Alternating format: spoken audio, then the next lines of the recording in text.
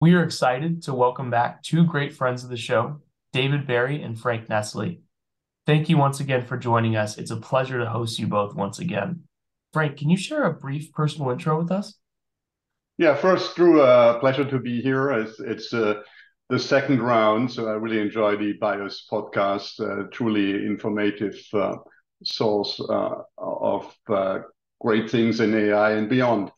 Uh, my name is Frank Nestle. I'm the uh, global head of research and CSO at Sanofi.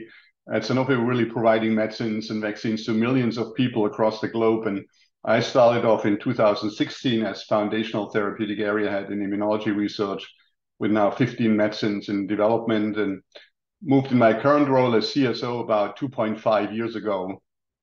Now, from a background, I'm a clinician, I'm a scientist trained in dermatology and clinical immunology, allergology, but I've been always driven by the quest to make a difference to patients by understanding disease mechanisms and translating those insights into therapeutics. And ultimately, you know, the ultimate quest is to precisely tailor these therapeutics to individual patients or patient populations. From a science perspective, I was fascinated by the immune system from the early beginning of my scientific career. If you think about the immune system, uh, billions of cells circulating in our blood, providing a connection between the tissues and uh, surveillance protections from pathogens and cancers. But if it gets out of control, it can cause autoimmunity.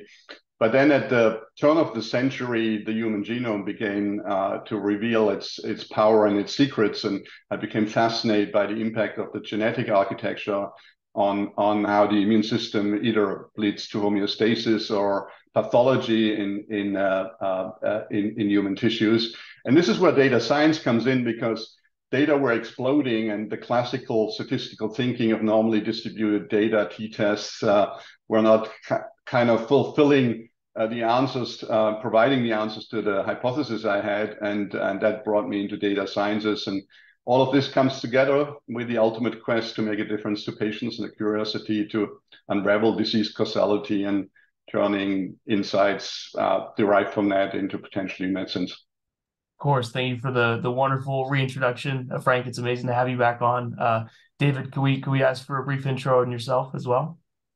Sure, well, happy to, and and thanks again for the opportunity to uh, to be here to come back. Um, so, brief background on me. Uh, so, I'm MD, PhD by training, MD from Harvard, PhD from MIT in biological engineering.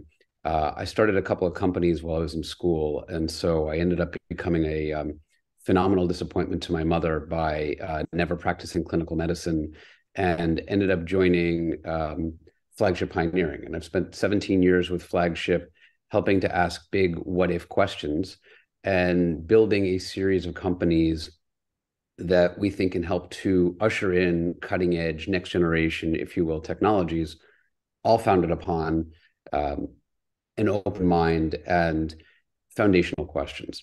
Now, a couple of years ago, driven by some insights around what I'll call our aspirations to make medicines truly programmable. And what I mean by that is, as you look at some of the biggest companies and innovations that have come before us, how we've gone from the traditional small molecule development with some of the insights we generated around um, the central dogma, that is how genes make proteins. Of course, we've saw the development of companies like Genentech and whatnot that ushered in biotechnology as a phenomenally important part of the drug discovery and development ecosystem.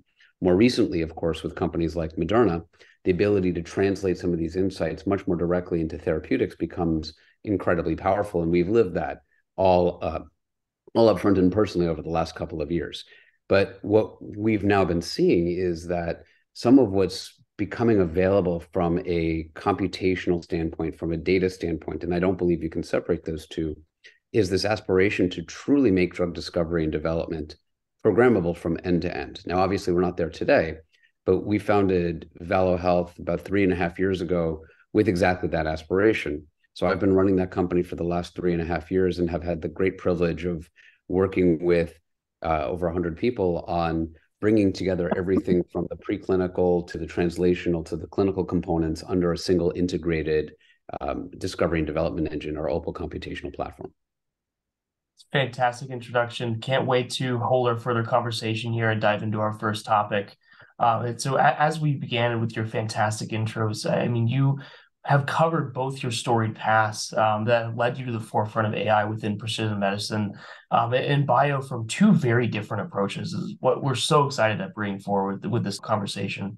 Um, from, each of your podcasts previously covering your work, we, we're excited to have you both back on the show to continue on this conversation from another lens. I really be our, our roundtable to debate the future of AI within bio. Uh, but before we dive in here, we would love to uh, set some good grounding context uh, for our audience. Uh, maybe Frank, you could start. Could you tell us more about the evolution of AI within biopharma? Uh, maybe if you could divulge uh, the, the, short but storied history from your perspective. Yeah, it's actually an interesting question. And in biopharma, actually, already in the 80s, 90s, there was a discipline which is called computer assisted drug design, which essentially takes advantage of molecular modeling, insights, data analysis, and pattern recognition. And the goal is to predict protein structures and analyze large data sets. So that started already at that time. And then with the Human Genome Project at the turn of the century, as I said, you know, big data came to scientists everywhere who were interested in, in, in human biology and the, the, connection between genetics and uh, how the human immune system and how overall human pathology plays out.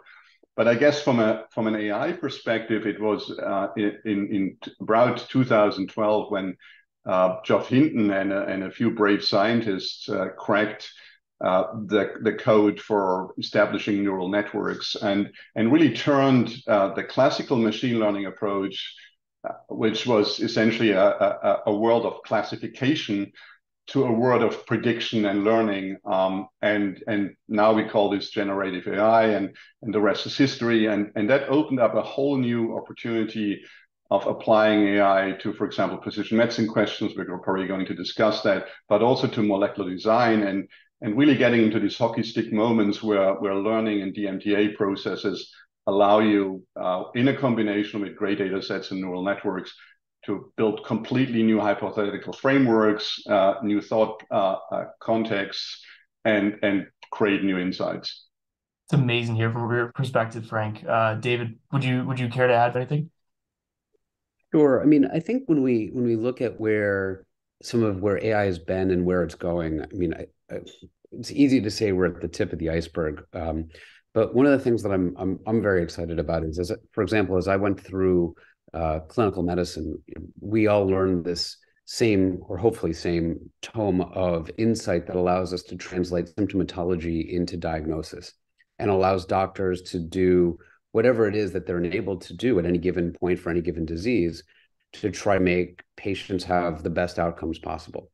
But when you think about what a doctor is doing, right, they're trained on about 2,000 plus or minus mostly subjective variables that they're using what I'll call the human form of artificial intelligence, otherwise known as intelligence, um, to come up with that diagnosis. And, and it's done a really good job and it's created a great foundation. The challenge with it, though, of course, is these are all subjective, they're all correlative, and they're all built off best practices. Now, where we sit today with the data that's available today, is we can already start converting that basis to replace those 2000 subjective variables with 200,000 quantitative variables. That gives us an opportunity to redefine disease based on what the data is telling us. Now, just that simple comparison, I think, is a really powerful one because often the question is, well, why? Because the 2000 are pretty good and the diagnoses today are pretty good and the insights you get even from the 200,000 many times are the same. But what we start finding out is that in some cases, you find very meaningful differences that allow you to start understanding the onset of disease, the maintenance of disease in very different ways. And these are cohorts that you really want to follow, manage, and treat in, in different ways. And this speaks to the power of what AI does, which it allows us to operate at a mathematical, a statistical, and insight scale that exceeds the way the human brain works. Said a different way, and I mean this with all due respect, when you talk to some of the best chief medical officers of pharma companies, what they'll say is, for example, they'll bring in, as a program gets gets brought into their organization, 30, 40 major streams of information. And when you really press them on how they do what they do, really what they're doing is they are coalescing down to three driver variables, not the same ones every time, but three driver variables that they base their clinical designs off of. And, and when you think about it, that is what a statistical machine does. These chief medical officers have really good statistical machines. And the more that we can automate those insights, which we can by learning from large, large numbers, just in the same way that these chief medical officers can, the more we can augment our capabilities. Because ultimately, when we look back at the history of drug discovery and development, right, 1,500 odd uh, drugs have, have been brought forward from insight to approval over the history of the FDA. You know, but we're also dealing with 13,000 diseases.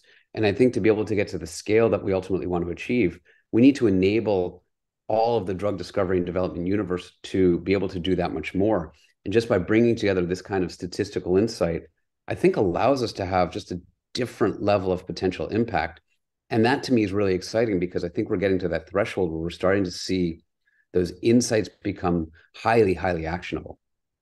Yeah, David, can I come into this uh, great example because it, it, resonates a lot? If you think about the human brain uh, as a prediction machinery, uh, creating what's called human intelligence, then it's probably uh, fed with about 2,000 parameters. You know, if you're, if you're a medical doctor, if, if you're if you're a dual scale of the profession, it's probably 5,000 parameters.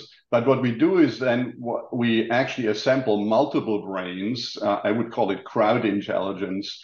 To then, when we are on rounds or when we make decision in committees, we bring in these different brains together, and, and we probably compute then together. If we're ten of us, we then compute fifty thousand parameters. But imagine you go now to machine intelligence, to artificial intelligence, and all of a sudden you compute like what ChatGPT is is doing in, in its version three, uh, 175 billion parameters. Um, and what can you achieve if you compute those and create novel hypotheses and insights and, and create reasoning machine, which you can then actually have a conversation with. And when you have a conversation with the other side, uh, with that machine intelligence, you actually get to a higher level of insight too. So, so I, I think that's what the the real um, power is of, of that new world we're entering that intelligence and intelligent insights become so abundant that it allows us to get to a whole new level of insights and, and discoveries. And I'm just going to build on one particular point that, that you had, Frank, which was that, you know, one of the things that I've always found when starting companies is the one thing you don't want to tell other people when you're keeping everything secret and confidential in that hush hush world of the super secret stealth startup um, is that a problem is solvable because that turns out to be one of the most powerful pieces of information and this is one of the things that ai helps to break down which is now we can start seeing at much larger scales problems that are solvable that we didn't previously know to be solvable once you know it to be solvable the ability to put mental power to it and come up with whether it's the right solution or an alternative solution or any number of solutions becomes that much more accelerated. Yeah. Of course. I mean, it, I think that's a, an amazing ground set for where we are in AI today, how it compares to current standard of care. and just tying those threads together, it, it really ties a fantastic picture to what the current state of the industry is. So I really appreciate it from you both. To continue this conversation a little further, um, I, I, think we we discussed briefly some of the applications that AI has already enabled. But um, Frank, we we love to hear this, uh, directly from you if you would want to start. Uh, you know, what what have we achieved thus far? Uh, what what have been some of the greatest applications um, that have been enabled by AI that we're seeing in the current industry today? I will keep it brief because uh, yeah, I could go on for the rest of the hour. But um, if I if I see two major areas of uh, contribution and, and progress, one is precision medicine. It's this quest of precisely tailoring our therapeutics to molecularly defined patient subsets and doing this in a safe and effective way.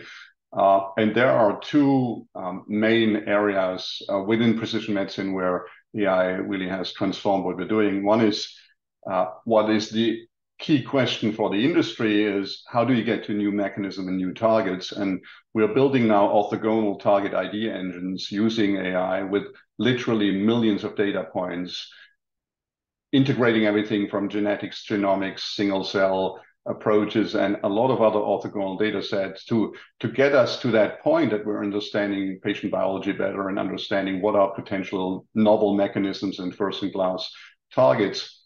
But then on the other hand, we can also use this information to repurpose drugs. If we have a, a drug and one we know its molecular mechanism, we can put it into new patient populations or, or new patient subsets. So there's a lot of opportunity in precision medicine. But in between, between finding a great target and then applying it to a patient population, you have to first design that that drug. And, and in that um, design space, there's also an incredible opportunity for navigating for example, a chemical space, we were never able to, to navigate. If you, if you think about it, the potential chemical space of a small molecule is about 10 to the 60, and, and this is uh, close to uh, the number of atoms in the, in the universe. And typically with a screening approach, we would have 100,000 molecules screened. 100,000 versus potentially billions and, and trillions of molecules and more you, you, you could screen. And, and what we can do now with artificial intelligence, we can, via virtual screening approaches, um, uh, explore that massive space. But what we can also do is we can then optimize molecules. It's, it's not good enough if you find a hit. You have to make it drug-like. Uh, and you make it drug-like by optimizing features like oral absorption or excretion and, and all of those uh, features can be optimized via artificial intelligence approaches. So a lot to uh, learn both in the precision medicine, but, but also in the uh, molecular design space from AI empowered models. Of course, Frank, thank you so much for the overview. Uh, to, to flip it over to David for a minute here, what are some of the current challenges in life sciences related to AI? Um, and maybe David, as a as a continuation question as well, um, are, are, the challenges different for biotech companies versus pharmaceutical companies uh, from from your perspective? Well, absolutely. I mean, I think there's there's a bunch of different layers to your question, Drew, and let me try to uh, dissect it out a little bit.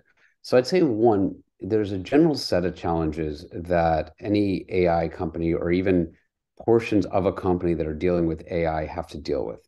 And that's that AI gets viewed as a black box. Um, and that just creates a show me challenge, right? And the challenge that we have in drug discovery and development is the time scale of show me and the substance of show me is not short, right? And it's expensive.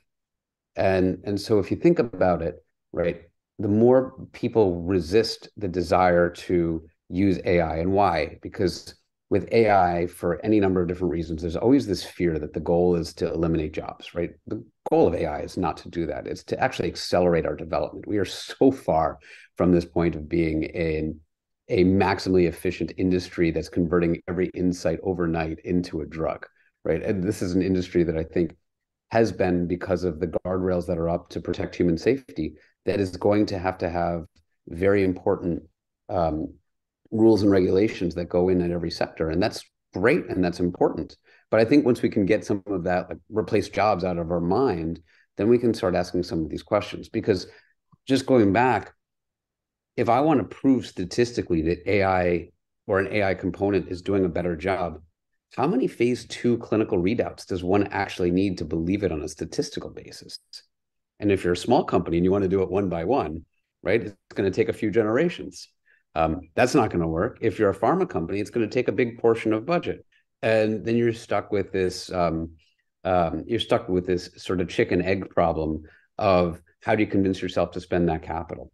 So I think this is one of those questions of how do we get proof points? How do we get people comfortable with it? And of course, on one hand, the shorthand is we talk about explainable AI, where we can start pointing to mechanisms and output. But I think also what we're starting to see, and Frank was alluding to this, is there are portions of the drug discovery and development cascade where we're starting to see insights that are actionable, that are tangible, and the timelines of them and the cost points of them are so quickly becoming transformative that it opens up the potential for AI to have a real impact. And that's something that's really exciting to me. Um, the chemistry side, for example, being one example where I think um, we've we've all seen these design make test cycles that have historically been, depending on where one grows up, can be months, right? And with some of these AI companies now being able to see um, timelines that I'll, put it as this way, substantially shorter than that, and in certain cases, days. Um, uh, but also doing that at the same time while exploring massively more space, but making many fewer molecules. And these are very measurable substrates. So I think that happens to be a, an important area. Another area that's really important, frankly, is bias. Um, now, unfortunately, bias can mean a lot of different things to a lot of different people, but the data that's captured is the data that's captured. And you know, we hear a lot of this in the context of GPT that the um, that the data it's trained on is the data that it's trained on, and that helps to generate its insights. And that's the internet, and the internet has its uh, frameworks for what data looks like, thus biasing some of the outputs. Well, when we look at data that we have in the context of um, human data, where has more data been captured? It hasn't been captured evenly across the world. Um, it hasn't been e captured evenly across types. Um, there are certain types of data that are newer. There are certain types of data that are older. All of these create different forms of bias. Now, bias isn't intrinsically something um, that is uh, something you have to run away from or um, but at the same time, what you have to do is you have to acknowledge what the biases are because they bias your output. And I think this is one of those areas where that's always been a challenge. Um, uh, it always will be a challenge. It's not going to go away. And I think it's one that you just have to be very cognizant of as you're building your insights, but also figuring out what to do with them. Thanks so much, David, for that level set there. I think it leads us into our, our next topic here, uh, really surrounding AI and drug development itself. Um, so really just what excites me about our conversation today are your difference in perspective, yet your shared North Star of therapeutic impact. So one of the biggest approaches that we really want to turn our focus onto is the AI's implications within drug discovery and development itself. Uh, but as we think of that shared North Star I was discussing, I mean, we'd love to use the opportunity on this roundtable as a way to come together and uh, discuss the similarities, uh, differences, and applications within AI and drug development.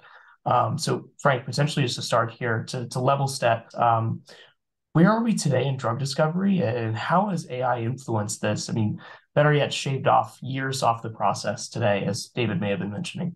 Well, maybe I, I follow up with what, what David said. One of the, the problems with our industry is that uh, we're required to provide proof points but the proof points take time. Uh, so, for example, if you if you look at what's currently in the clinic, as so-called AI designed drugs. Uh, you know, if I look at them, they're just first generation. And uh, we recently had a failure, for example, from one of the companies uh, with a target where I would say, you know, do you really need AI to uh, come up with that molecule? Um, so there's a there's a, a it, it, takes some time to to get to these proof points. But overall, if you think about um, if you think about the drug discovery process as an assembly line where you start with a, a discovery of a, a hopefully first in class drug target, um, then you make a tool compound, then you have uh, a few hundred attributes to optimize to ultimately make this a potent and specific compound. You then optimize safety, um, you optimize then the path into clinical translation to a, a patient population, and then you run your clinical trial. Each of these distinct processes are amenable to prediction. And they're amenable to prediction, especially if you're sitting on large data sets um, like you know uh, pharma sits on. And what's the interesting, um, uh, I guess, ultimately North Star, what, what AI is going to deliver is that it's going to change the economics based on predicting what is the right molecule, uh, what is the what is the safety uh, feature, um, you know, what is the right indication? And all of that has a potential impact on the two factors which determine the economics of, of pharma, and this is cycle times and probability of success. Cycle times have been stubbornly stable for the last um, 20 years. If you look how long it takes to get a compound into the clinic, it's four or five years. Uh, and probability of success has been also uh, stubborn. And what we're also already seeing now in the engines of, of the drug uh, discovery industry is that in the engine room, we can shift these cycle times. We can, for example, synthesize less molecules to come up with a, a clinical candidate. We can make this faster. uh, we can increase our probability of hitting the right patient populations. All of that has the potential to change the economics of the industry. It's not there yet because we always look in a rearview mirror. But if you're in the engine room, you see that a lot is going on. Course, uh, to really continue down one thread uh, you were discussing, uh, David, if you wanted to add comments here, as technology and AI progresses, I mean, how, how do you view AI scaling drug development over time? Yeah, so let me let me touch on a couple different um, a couple different pieces of this, um, because I think it, Frank was touching on some very important pieces that of of the length of time and some of the recalcitrance um, uh, that that we've been seeing of being able to change the the probability of success, the cost of drug discovery and development, um, the timelines, et cetera. I mean, so you know, part of the way we at Valo have been approaching things is we've been taking a slightly different lens, and and you know whether or not this is going to this is going to prove to be impactful. Obviously, time will tell, right? And I don't want to get too far over the tips of our skis, but drug discovery and development has historically been a highly siloed uh, industry. And the challenge on that is it's created data silos and operational silos. And one of the things that we see as an opportunity for, and of course, this isn't something that um, we're the only ones who can do, uh, is that we can use data and computation to unify how, if you will, data is used across all of the steps, how insights are used across the steps, how data is shared across the steps. Um, and we think that that in its own right will increase probability of success, will, will help to reduce time, will help to reduce cost. And, and I say it relatively simply because, you know, usually when I say that, the first thing is, well, how does a clinician use ADME data, right? Uh, or how does a med chemist use um, use clinical data, right? and and the reality is what that's just done is found it just found two examples that actually reinforce the the siloing nature because it actually turns out these data these data sets are very important to one another because when you make a molecule ultimately goes into a person and understanding everything that that molecule can bind is really important to being able to understand its probability of hitting the intended target its probability of hitting unintended targets, whether good or bad, and being able to predict what those outcomes might be. Are we there where we can actually do all of those predictions with 100% conviction? Absolutely not, right? But when we start realizing that all of the, this integration of data can be incredibly powerful every step of the journey, I think what we start to see is first, that sharing, I think, will get us exponentially more powerful insights. And I think that's something that's incredibly exciting. Second, we can start bringing forward those insights, clinical insights that go very, very early on preclinically, even understanding what the clinical trial design is as we're developing our targets, right, and validating our targets. What this will ultimately do is just making sure we're highly directed, which isn't to say people are undirected, but it, we're highly directed towards getting outputs on goal. And I think if nothing else, that aligns a North Star. And if nothing else, it allows us to get to fail experiments faster. And that's always been a difficult component. Now, when we're talking about increasing probability of success getting to fail, it's probably not the goal, but reducing spend on these late stage trials that don't that aren't going to work, obviously we'd all like to be able to do and focus those resources on things that we think have a higher probability of success. And that's why we think a lot about data integration and what I'll call silo integration, because we think that's what it will ultimately enable as we as we progress some down some of those paths. Um, you know, I think when you when you look at um, you know a, a, given stage and trying to prove out some of the proof points of um, what's going to be able to make something uh, what's going to be able to make something successful. Uh, I mean, I think part of what we're also ultimately trying to do is kind of align on what are those proof points that we ultimately need to see. The reason I put it that way, right? You can look at data that's been published by by others. You know, the the, the organization Bio, for example, and if you read its reports, right, it says very clearly that if you have a biomarker, right, you increase your probability of success by 25%.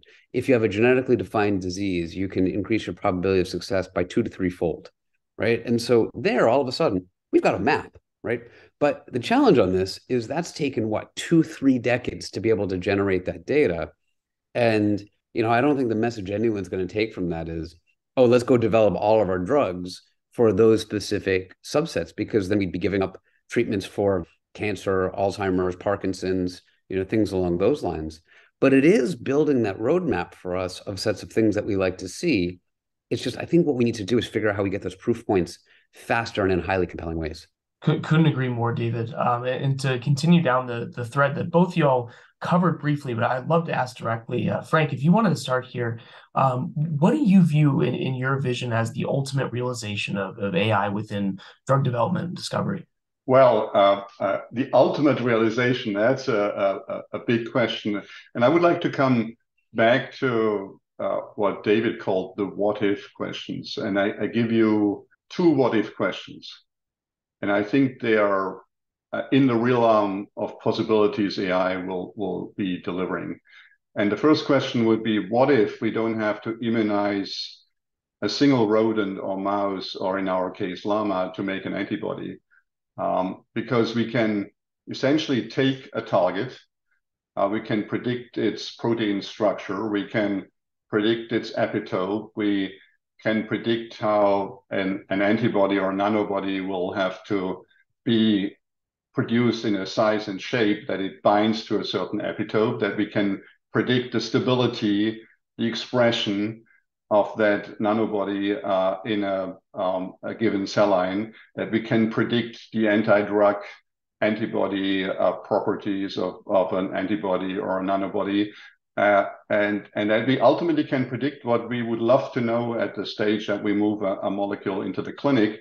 And what if we could all do this virtually? And, and I think that's in the in the realm of uh, what what AI uh, can or will deliver in the future. Now, I have to say that the, the, the space you have to navigate to predict an antibody structure is even more complex than a small molecule. So, you know, you have to do this with uh, a, a, high degree of being humble and and hopefully uh, with a view that chance uh, uh favors the prepared.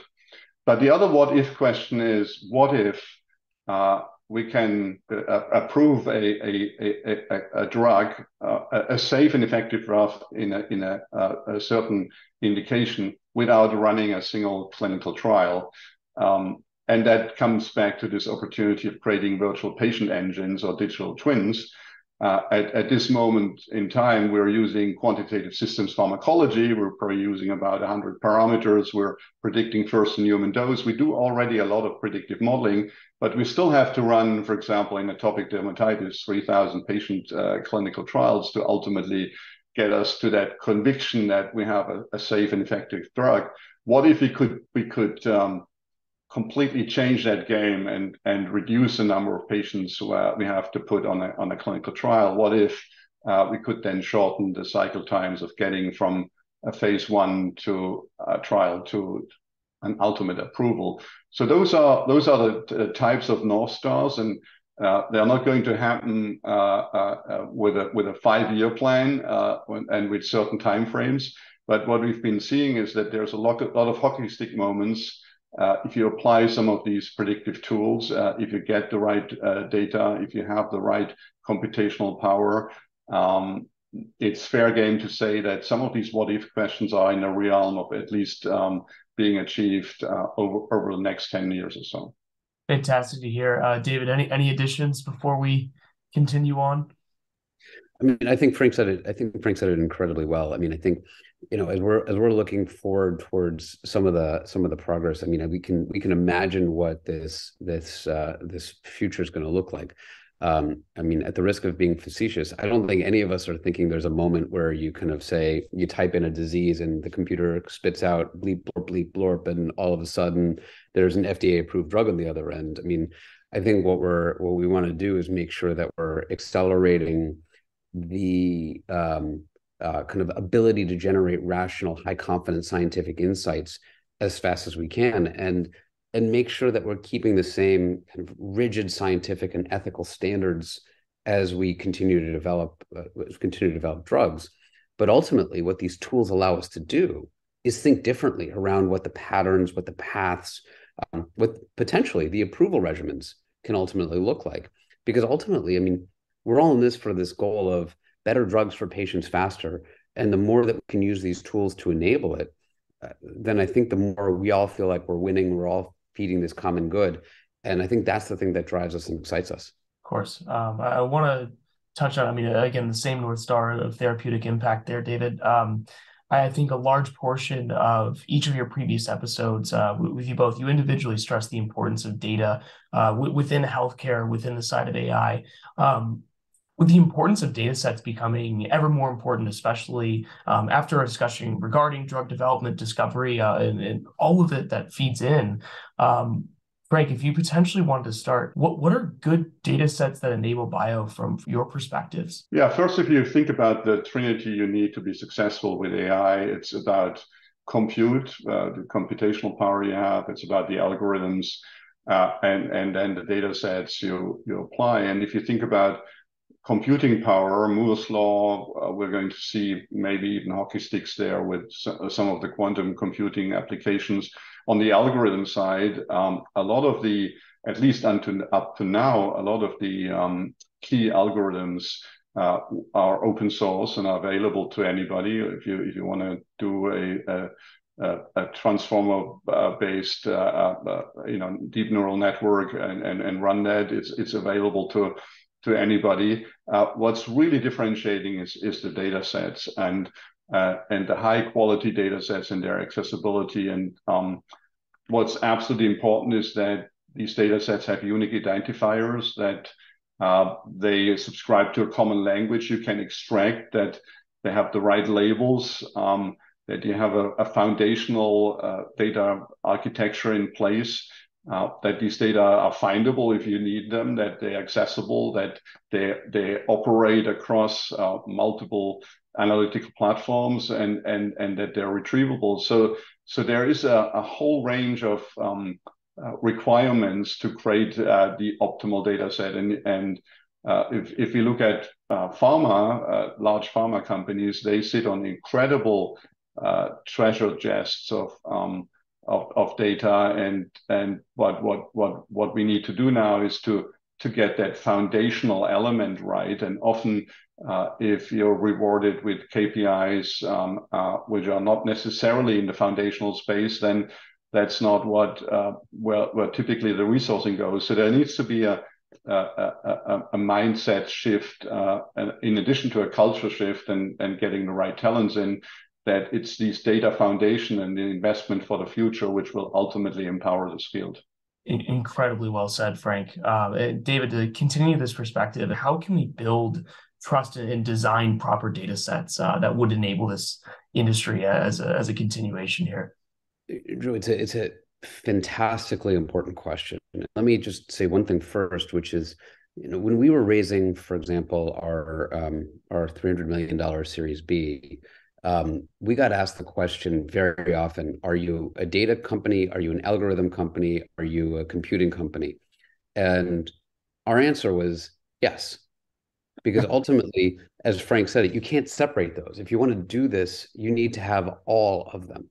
And I think it's an it's a very important component of, of what we're doing. But that being said, to your point, Drew, you also need the right data. You need quality data. You need relevant data. You need representative data. And we are of the belief that some of this data exists and some of it needs to be generated. And I think as we think about um, where some of the data sets are and where they're going, um, look, on one level, uh, it's easy to say, hey, we should have a data commons and uh, bring all the data together and whatnot. Um, I think the reality is, as we look at what the progress of some of these computational tools are and the way that they're accelerating, just looking at even, for example, the delta between GPT-3 and GPT-4, um, the data commons may, may even self-sort itself in a very short period of time. And I think that's going to be incredibly powerful. Um, there's implications to that, which also again means the more you're integrating into the insights for drug discovery and development, the more relevant and the more impactful that ultimately you think you can be. Um, at the same time, I think there are areas where we have known holes in the data, right? Do we have sufficient cohorts of well-developed multiomics? I think we'd all love to see a lot more of, of that. Um, I think the challenge on it is it's really expensive. And, and so what we end up seeing are piecemeal cohorts that exist uh, from uh, disease to disease with certain degrees of continuity certain degrees where there's lacking longitudinal data associated um, and it just it creates challenges. And i think this is one of those areas where uh, i think we're going to see continued progress there. Uh, we're going to see continued investment in those areas because frankly i just described a problem set that could occupy a handful of pharma companies for several years if they wanted to put all their capital there. Um, but obviously they have ongoing day-to-day businesses like developing drugs and um, and whatnot. And so I look at that as a really, really important area that the more we're collectively pushing there, the more insights we're going to glean. Couldn't agree more. I mean, just to continue this conversation, I, would love to hear from you, Frank, on this side. Um, David, I think, covered a, fantastic overview of where we are in the state and how this is evolving. But to ask in, in, in finality some of the some of the bigger questions, Frank, to ask you a big one again. I mean, how how should we view the the future of data uh, within bio? it, itself as a whole? Well, the future of data within bio will be determined by how well we build the foundations. It's it's a bit like these wonderful buildings you have uh, you see in the back of my the screen here. Uh, you have to get the foundations right, um, but it's not all about the foundation of the data and how Uh, accessible they are and how well they are generated. It's also about on the other on the other side who is going to analyze the data. It's going to be about the talents, the ambidextrous biologists and data scientists who are going to analyze these data sets. It's going to be about society and how society values data and the regulatory and policy framework around data. It's going to be about data privacy. It's going to be about data security. It's going to be about a, a multi-dimensional uh, network of, of, of, key contributing factors which will determine the success or failure of a, of a data and knowledge driven society. So we're we're on this journey and uh, we're on this journey together. Um, I, I, I, said at a, a recent dinner, um, what if uh, uh, intelligence becomes commoditized? Um, what if uh, uh, all all these data are then then um, are going to contribute to a big reasoning machinery where uh, the human brain is is is just being a commoditized function? Um, so there's a lot you can speculate and think about, but but let's start first with uh, the 101 and the base camp, which is create the data foundations it, it's amazing to see from your perspective. Um, it, just to just to pivot here, David Frank. I, I, mean, I would love to take us into a section um, to continue on this trends and prediction side of, through a, a, rapid fire lens that we do. Um, and, and so, just to ask a few rapid fire questions here, uh, Frank, if you wanted to continue the conversation, I, would love to hear from your perspective.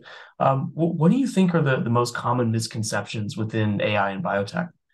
Well, David already alluded to some of them. Uh, the first one would be don't expect to have immediate proof points if you're if you're working in the biopharmaceutical industry. Uh, it takes time uh, still. Uh, the second one, the second misconception is AI provides accurate results. No, it doesn't. It generates testable hypotheses. Sometimes it hallucinates, uh, but it's always something you need to iterate on. And uh, ideally, you iterate on with uh, a human intelligent organism on the, on the other side. And then the final one, and I think also David touched on that, AI is not a one size fits all solution. It's not like you, you type whatever problem you have, a molecule you want, uh, and in, indication you want to crack into a computer and out comes the perfect solution. It needs this, um, uh, it needs two elements. One is conversation uh, with a human and creation, uh, and ultimately the experimental validation uh, to make it work. David, any any continuations, additions there?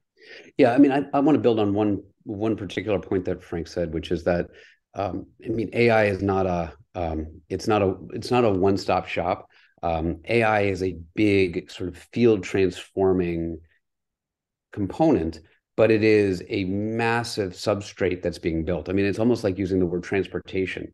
Um, so you could say, hey, I want to get from New York to San Francisco by transportation and it means one thing to go by plane and it needs means another thing to go by bicycle um, and and i think this is this is the the the notion of what we have to recognize is yes ai can and will be applied across every phase of drug discovery and development and i expect it to have meaningful inputs uh, and impacts and what it's going to ultimately do i think is lead to these benefits of faster, lower cost, higher probability of success.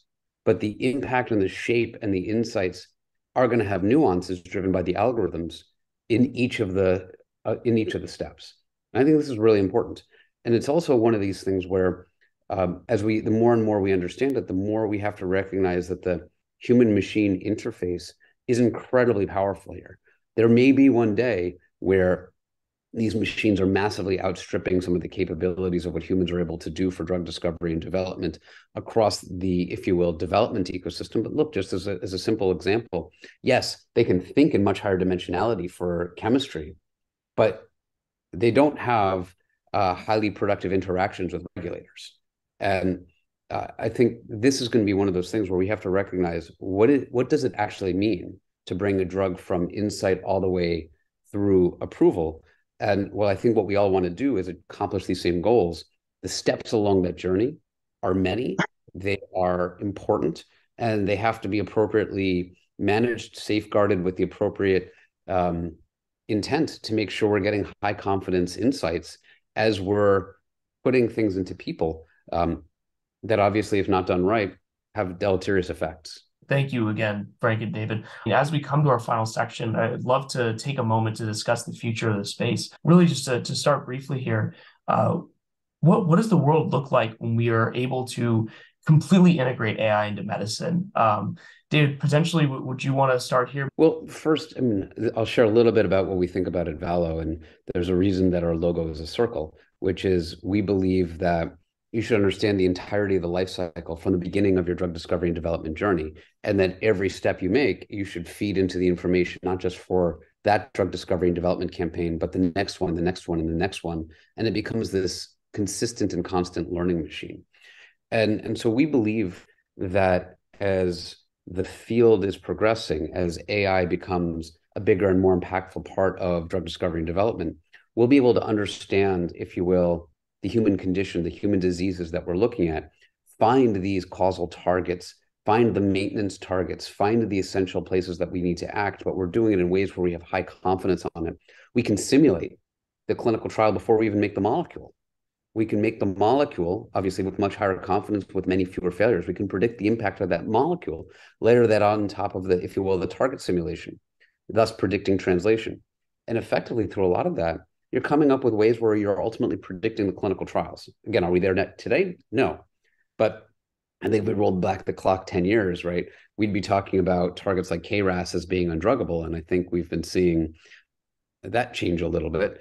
And it's one of those, eh, that happens to be one of these dynamics where um, we still have a lot of, quote, undruggable targets until they're druggable. We have a lot of unsimulatable things until they're simulatable. And the challenge that we deal with, I hate to put it into vernacular, um, but when we pick words like undoable, right, it creates a mindset that these are unsolvable problems. The reality is they're not yet solved. And this is what we're starting to see is this step function transformation of the ability to solve important problems. And I think that's going to be where we're continuing to push um, and push at paces that are much faster than many of us think. Frank, just to turn the question to you, um, what do you really see as as the world that is, I mean, completely integrated within AI and, into medicine itself? I mean, from your perspective, potentially, you know, when when will we know we've kind of won in this space? It's fully realized. Yeah, it's a good question, and you know, you can uh, open your the aperture and and look uh, pretty broadly. And if you look beyond biopharma, where we talked about precision medicine, uh, you know, totally transforming that space, precisely tailoring very targeted drugs to, to patients who are waiting, um, changing the way how we run clinical trials uh, with a, um, a, remote patient monitoring and, telemedicine approach, uh, where we're doing clinical trials in a in a, a way that they are de- decentralized and that patients can actually stay at home when you do a clinical trial to ultimately improving diagnostics. Uh, uh, if we think about that, uh, the origin of the first success stories in AI were in computer vision and um, medical imaging pathology is is uh, as we speak completely disrupted. Um, for example, we work with a partner, Owkin, who is a, master in running AI algorithms on H and E slides. These are these sections which are stained with a, blue and a red color. And you can actually extract now genomic information from uh, a, a, slide which is um, a tissue slide, which a section which is just stained with a blue and a, red color. Uh, truly amazing.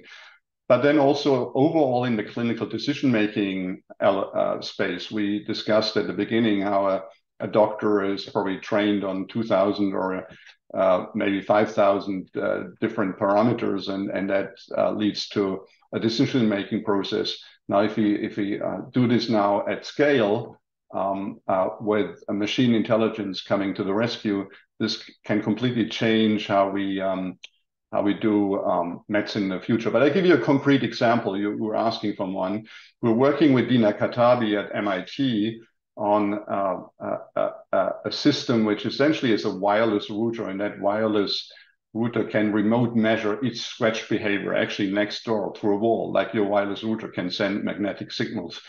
Um, so I, I imagine a world where these types of digitally um, uh, uh, uh, parameters, these digital parameters are then used for clinical decision makings, that they can provide regulatory endpoints, and that they ultimately can guide physician-patient interactions in a remote manner. So that, for example, you could say, uh, I predict atopic dermatitis is going to break out uh, in your body, and I have a medicines to disease intercept. I don't have to wait until I see the disease to treat you Of course. Uh, thank you both for, for for joining us. It's been a fantastic discussion. Really wish we had more time to go through more topics here, uh, but I, I want to close it up and ensure we kind of have time to wrap things up here nicely. Um, Frank, if, if you wanted to start as we're closing up this episode, any other closing thoughts and review of, of this episode or discussion that you'd like to share? I mean, from your perspective at Sanofi, um, views on AI, I mean, anything to, to close this episode out? Yeah, thank you very much. Drew really enjoyed that, especially also in that conversation with David. So two two HIs, three HIs through human intelligence uh, machines coming together here uh, in a in a wonderful way. I, have to say, I've personally been fortunate to witness the massive impact of the computer revolution, internet revolution. But certainly AI has has the potential to create another major transformational moment for progress in our society but at the same time, uh, we need to establish the rules of engagement to ensure that benefits outweigh the risk. And one important point we have not mentioned yet, equity, is, is that everyone can enjoy those benefits no matter where they live or how much money they have. Um, so the bottom line is the age of AI has started. The train has left the station. You can't put it back, uh, uh, but it's filled with numerous opportunities but also responsibilities. I think it's an amazing way to cap the episode. Uh, David, any additions, closing thoughts from your perspective? First, uh, Drew, thank you for the opportunity to be here, and it was it's been great chatting with you and with Frank.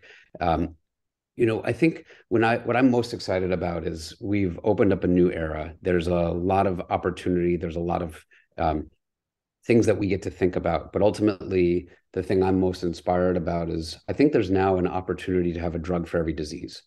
And the more that we can progress around that as a framework, I think that's going to be an incredibly enabling feature for us as an industry. And while obviously there's challenges that come up with it as well, um, it's something that I think is a great calling for me.